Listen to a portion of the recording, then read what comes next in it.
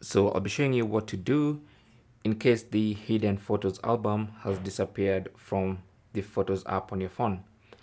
So if you go to photos on your phone, normally you need you can go to albums and then under albums you can scroll down and in this utilities section you should see the hidden album where all your hidden photos are saved.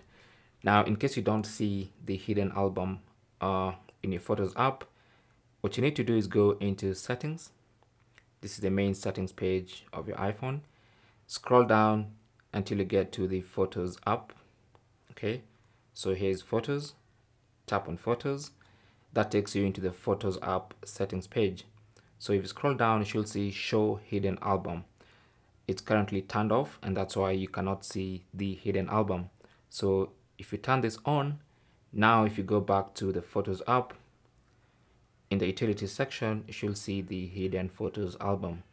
Okay, so that's what you need to do in case the hidden album is not available in your photos app on your iPhone.